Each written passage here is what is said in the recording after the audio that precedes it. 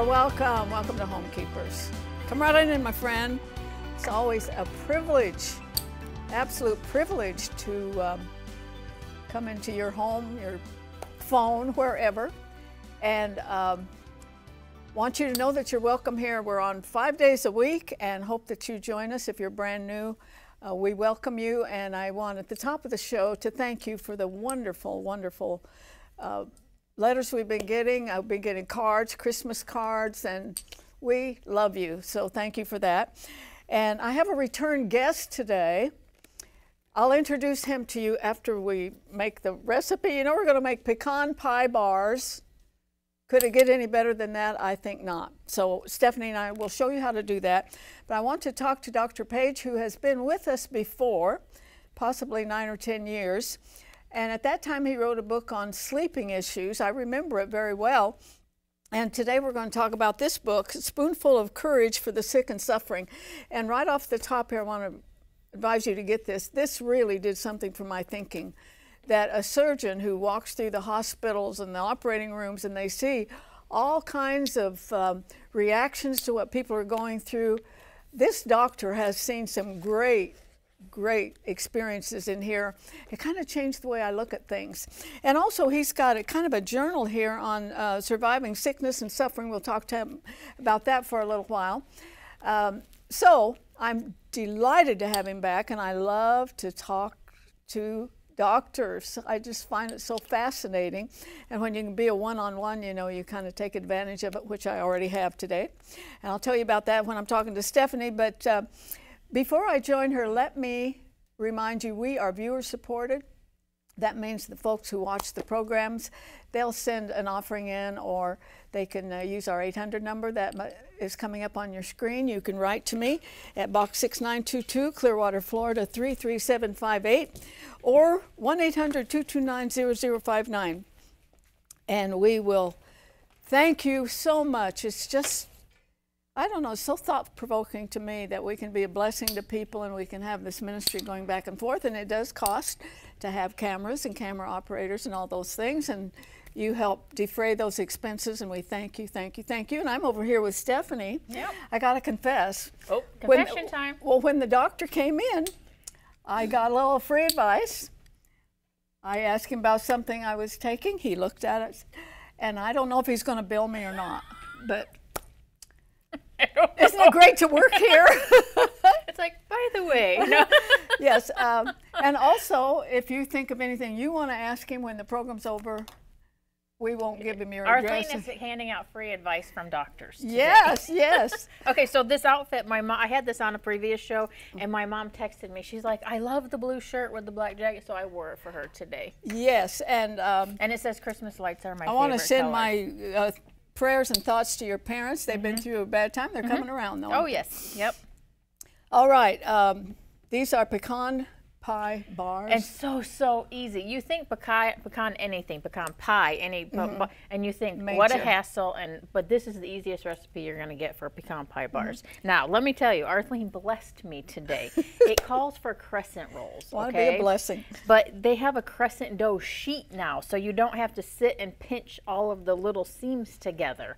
And, and you've pinched quite a few. On, yes, it uh, made my life so much easier. You've pinched oh, quite a few. Oh, there we go. Yeah. You've pinched quite a few on this show. Yes. And this is like so much, it, it was a blessing to me this morning. That's all I'm saying. Mm -hmm. Okay, so. Okay, and I'm going to mix so together. you have a half a cup of sugar, an egg, a teaspoon of vanilla, two tablespoons of butter melted, and we added a lot more pecans than it, than it said because it's supposed to be pecan part bars, and it had a quarter cup of chopped pecans, and it wasn't enough. I'll tell you what's going to thrill these viewers is that you can have basically pecan pie very easy, so very easy. simple. So Did you start out with the sugar or the egg? Sugar Anything, first? just put it. Doesn't it in. matter? Yeah. Okay. Oh, and corn syrup. I forgot to mention the Yeah. corn. It's corn syrup too. Yeah. Yeah. So so now it doesn't say to spray the pan, but you know what? I sprayed it a little bit anyway, just because you don't want to have a mess, right? You want to be able to mm-hmm. get it. Now watch how simple this is. So easy. No pinching. The perforations. It's amazing. It's the little things uh, she was she was absolutely I was like, you have blessed me so much morning. because sitting and pinching those perforations kind of a pain. It was like I'd bought her a diamond ring. Well, I don't know not if it quite. would be that dramatic, but Yeah. So you just take this, and if it is, if you do, can't find the, the sheet and you have to use the croissants or the crescent can rolls, just pinch the, the perforations and then go up the, the side a little bit. Mm-hmm. Okay, you're gonna put this in the pan. You're gonna bake this for eight minutes at 350, Mm-hmm. which I almost forgot to do this morning. I was gung ho. I did this, and I was just getting ready to pour the stuff in, and thank you holy spirit for hitting me because it was like no don't do that. Yeah. so she's simply mixing together all of her ingredients Here's all the- corn syrup sugar. Here's the- all this the is not a healthy recipe okay? Not healthy. There you go. okay so i'm going to bake this for eight minutes. I'm going to bring it out. I'm going to pour this on top of it and we're going to bake it for about 20 minutes at 350 Yeah. Uh, now, do you need to uh, let that cool before you put the this topping on? no Okay. but you need to let it cool afterwards okay Yeah. which we didn't do so we'll let's see what happens here Yes. Now, it's gorgeous look at it and Look at look how simple and it should probably cool a little bit longer, shouldn't it? yes Let, I'll let you yes, cut it, Yes, it. should. Mm-hmm. Let me see. Is it super hot? Okay, we're okay. -hmm.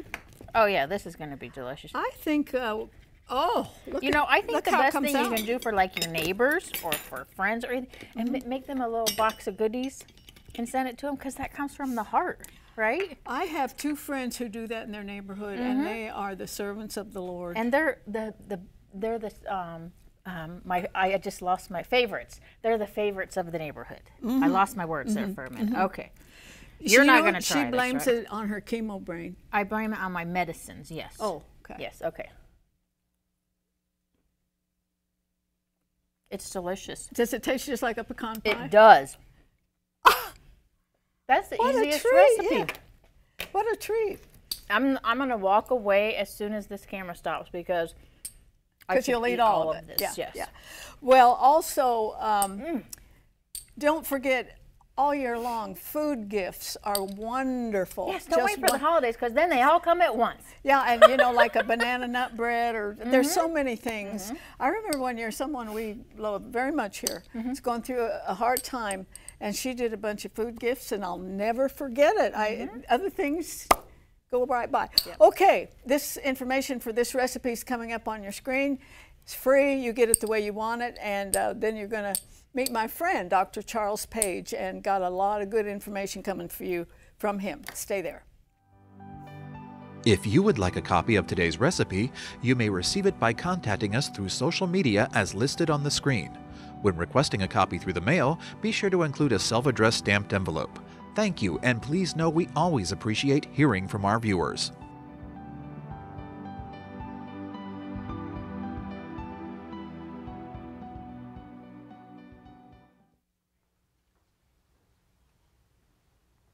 All right, I am so thankful and happy to welcome back to Homekeepers Dr. Charles Page, who, when he was here before, talked about sleep issues, and I think that's a very big problem in the United States today because we're all kind of like this. And he is father of five, a wonderful devoted Christian with a ministry in his church, and a surgeon, and you're trying to get five kids through college. Yes. You make me tired.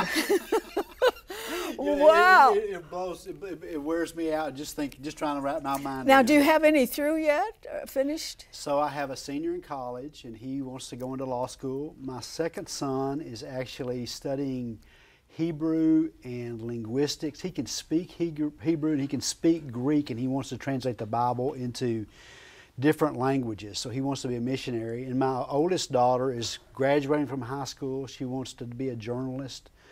And then Jane Aubrey, Jane uh, Aubrey was is in the here studio with yeah, us, in the yeah. studio, and she she's actually writing her first book. So it's just awesome. And then Charlie, we just hope Charlie. We're just trying to keep him out Is of jail. Charlie the baby? He's 12, yeah. Oh, so, but he's I'd a like to meet He's Charlie. a great kid. I bet he is. And there's something about that last, Last one. child. Everybody's had a.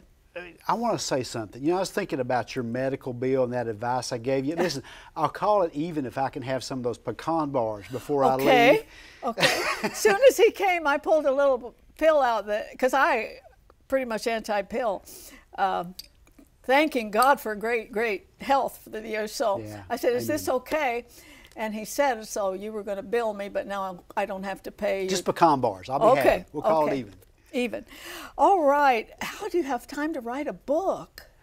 Well, uh, I don't sleep much actually, and this book is uh, one of the things I realized about this book is that these are just little snippets of Uh-huh. stories, and and I didn't realize what I was doing when I was writing, but really what I was doing is processing these events. You know, even as physicians, we have these things that happen in our lives, and we really don't know how to make sense of them. You know, there's some things that happen that just we'll never understand on this side of heaven, and so that's kind of what kind of motivated me to write these stories. And a lot of times Christians are prone to say, why would God let this happen? Yep. Of course, you see that all the time. Let me mention at the top of this uh, conversation that there's going to be two ways you can reach Dr. Page that will be on the screen from time to time. The first one is a website, and the other one, is it a text? Yeah, just text just with your cell phone. You know, folks are. I mean, I'm, I'm technologically challenged. I'm still a dinosaur, but you Jane just text, Aubrey can help you. Yeah, Jane Aubrey can do it. But you just text "believe" to six six eight six six, and it connects you with our, you know, our our just our our, our blogs and mm-hmm. things like that. Uh, did you know at a very young age that you wanted to be a doctor and specifically a surgeon? No, I, I never opened a book in high school, and that's a long story. But um, you know, after after sad after, story. Well, I, I know, and I'm actually writing another book about that about about, about failing my first math test, the life equation. Uh-huh. But anyway, but uh, no, I didn't. You know, I became a Christian about 16 years of age, and God began to move in my life. And you know, my my mother and father never went to college, and so it was a journey that we really didn't. I really didn't know how I was going to get there, but Mm-hmm. fortunately, God, you know, grace. Grace, uh, grace led me and, and, and has taken me thus far, and it's been a great journey.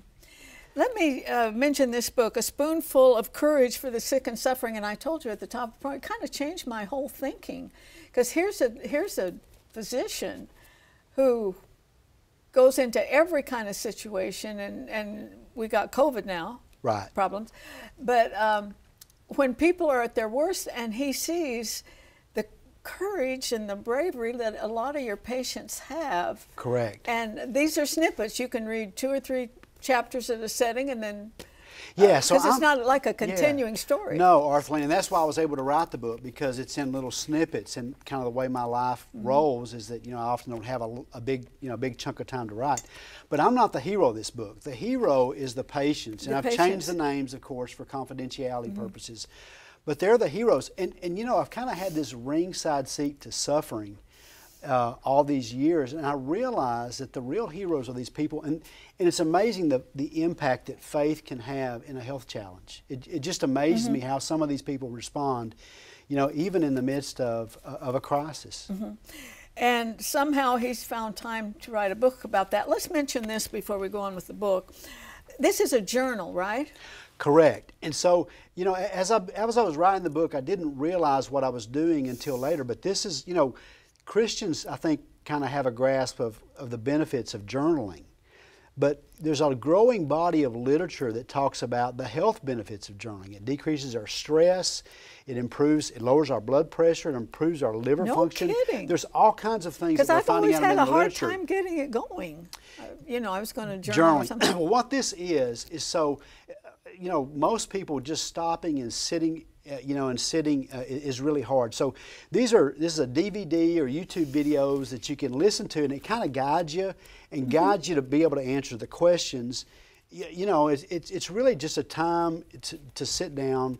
And you know, we talk about the Word and the Spirit, and let those things minister to us. And I think I think we've underestimated that, both spiritually and health-wise. And it's very what journaling does. It's got a lot of direction as to how you can do it. But that actually has health benefits, right? It does. It does. In fact, there's studies that have been done that show that people who journal actually have improved uh, wound healing after surgery. Just all kinds of things. And I think it has to do with the fact that it lowers our cortisol and our catecholamines, you know, our adrenaline.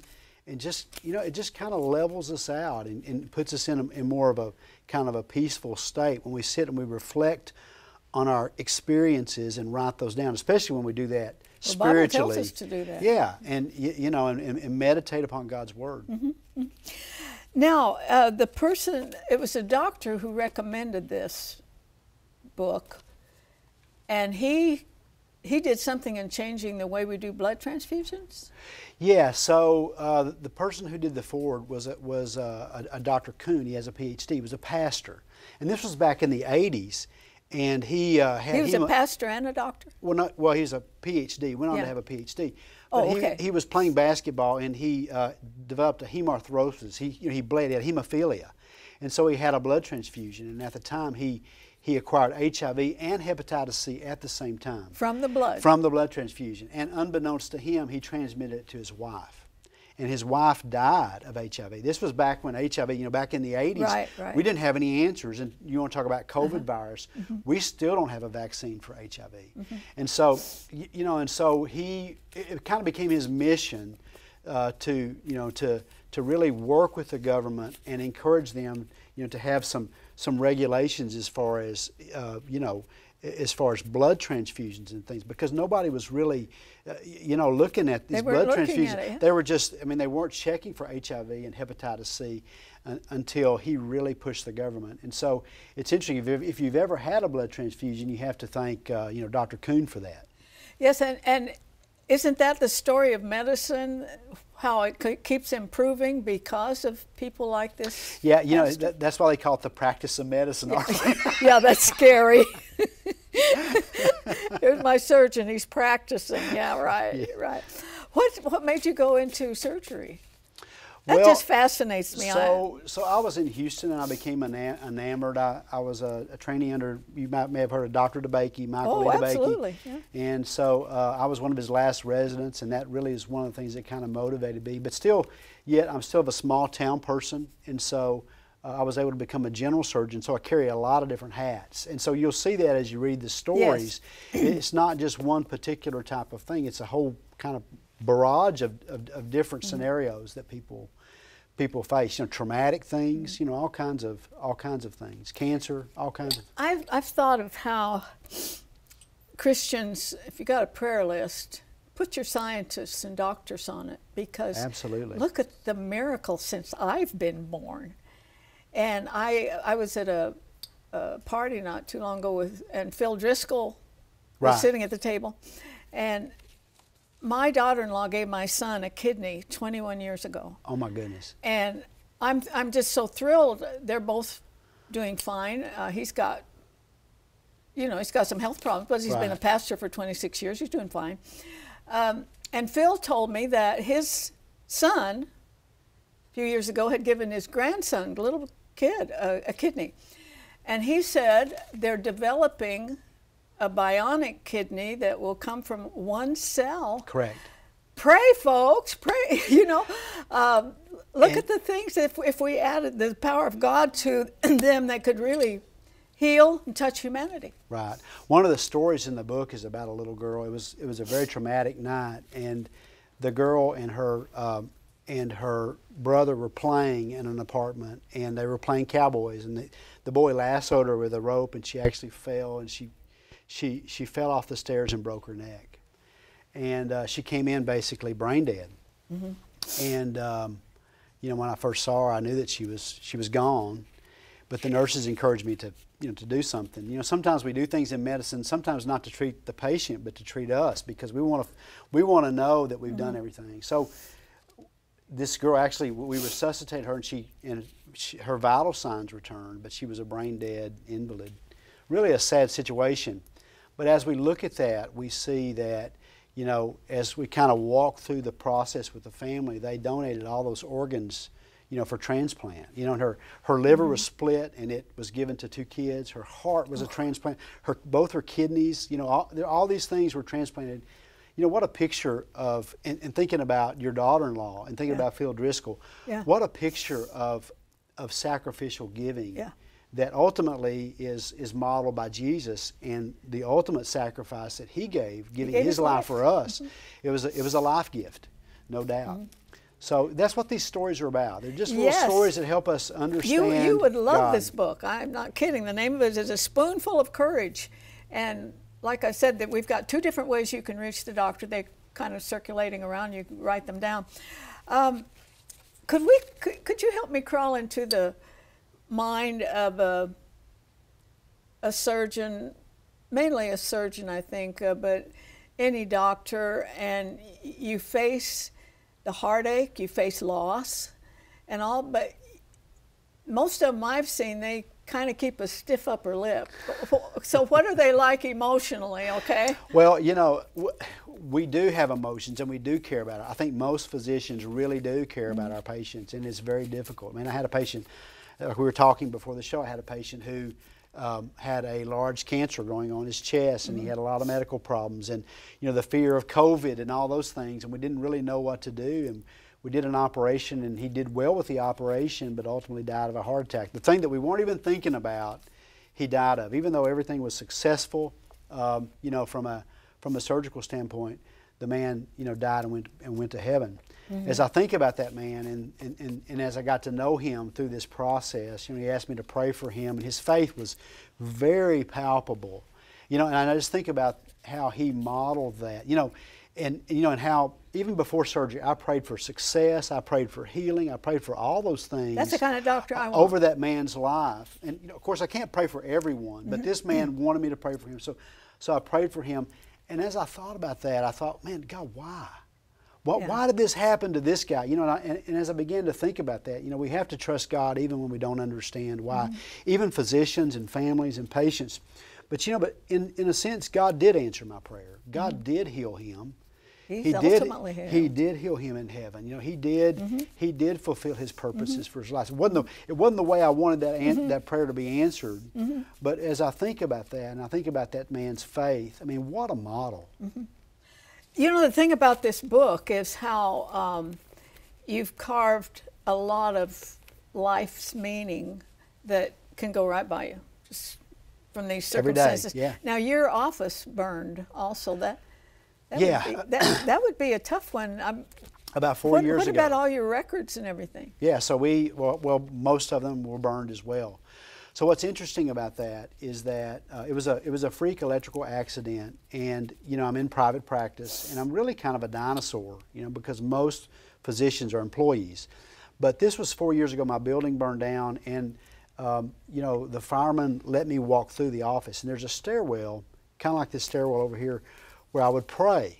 And it was kind of one of those places. I'm, I'm, I'm you know, I'm kind of always going, and so it's really hard for me to get down on my knees and pray. And, and I kind of wonder what had happened to that stairwell. Um, and as I kind of rounded the corner, corner, I realized that that stairwell was one of the few things that was still there. And in that stairwell, wow. I had this Bible, and the Bible was covered with soot. In fact, it was, it was signed by Franklin Graham that I had gotten from a uh-huh. mission trip to Kenya. And uh, that, that Bible, you know, as I looked at it and I took that soot off of it, the words were still there. The Bible was still intact. Praise the and Lord. I, yeah, and it was amazing. And there was this old black doctor's bag. You know, kind of one of the old-fashioned yeah. doctor's bag. Once again, it had this new shine on it because of the soot. And I realized as I was going up these stairs, all the things that I could rebuild my life upon.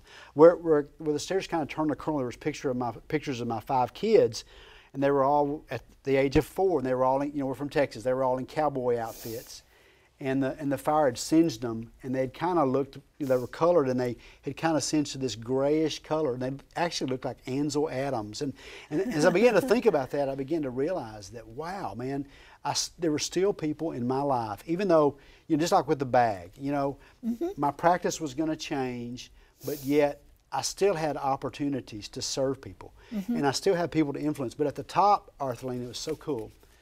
There was this cross. My wife had bought had made this bought this cross and put on this beautiful stained wall, and the whole wall was charred and black. And so, you know, when I took that cross off the wall, it was amazing. Behind that charred wall, there was this, there was this stained, imprinted picture of the cross. Yeah. You know, and I thought about that. So often in our lives, we're never going to understand why things happen. We're never going to be able to no. piece everything together. But, but I think one of the things that God does in our lives often is He takes, He takes those things and He, he, he somehow weaves them into, an, into a place that we, we reflect His image in our lives. Yeah. You know, as, as, I thought about that, you know, right. there's so many things. We're never going to understand the meaning of suffering on this side, you know, mm-hmm. of, of heaven. But yet, part of that process is that God is conforming us to His image, like it says in you know Romans 8, 28 mm-hmm. and 29. Mm-hmm. You know, about how all things work for good and how He is conforming us to the image of His Son.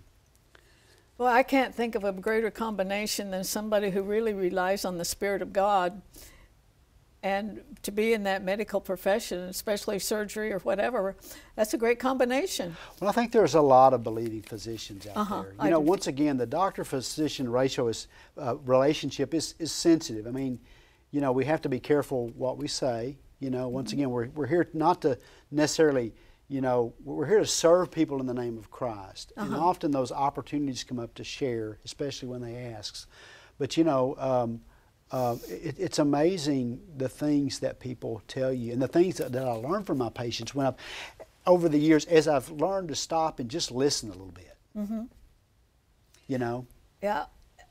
Did you ever have to just kind of go behind the door and cry a little bit? a lot. Really? let, me tell you an interesting story. And this happened. This is a COVID. yeah, we got two minutes. Go ahead. This is a COVID story. So this lady came in the office with her husband. He was he had dementia and he had been in the nursing home and I'd done a surgery on him and then and then he went to the nursing home and they've been married 60 years.